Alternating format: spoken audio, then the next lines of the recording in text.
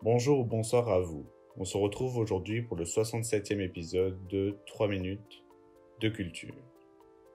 En ce jour, je répondrai à cette simple question. Pourquoi le ciel est-il bleu? Alors tout d'abord, il faut savoir que la lumière, lorsqu'elle ne rencontre pas de contraintes, est rectiligne. Il faut aussi savoir que la lumière émise par le soleil est blanche, c'est-à-dire qu'elle contient toutes les couleurs, contrairement au noir qui n'en contient aucune. Chacune des couleurs sont dotées de longueurs d'onde différentes. Par exemple, le violet a la longueur d'onde la plus courte, ce qui contraste avec le rouge qui a celle la plus longue, ultraviolet infrarouge. Il s'avère que les ondes courtes, comme le bleu, sont celles qui sont diffusées le plus facilement par les molécules de l'air, à l'inverse des ondes longues, comme le rouge, qui sont beaucoup moins diffusées. Alors récapitulons. La lumière émise par le Soleil est blanche. Lorsqu'elle rentre en contact avec l'atmosphère, elle peut être réfléchie ou réfractée. Après réfraction, c'est-à-dire un changement d'environnement qui change la lumière dans sa vitesse ou encore dans son angle, ce sont d'abord les lumières qui ont la longueur d'onde la plus courte qui sont diffusées.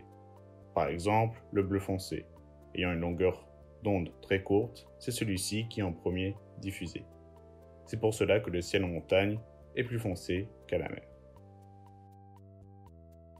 Et lors d'un coucher de soleil ou, lever de soleil, ce sont les lumières à plus haute longueur d'onde qui sont visibles, parce que l'épaisseur de l'atmosphère est plus forte, étant donné que le soleil s'éloigne de nous. Deux petits points à éclaircir pour finir. Alors pourquoi le ciel n'est-il pas violet, si sa longueur d'onde est la plus courte? En grande partie, c'est parce que l'œil humain est peu sensible au violet, et qu'il doit d'autant plus mieux être visible très haute altitude. Et deuxième point, pourquoi le soleil est perçu jaune?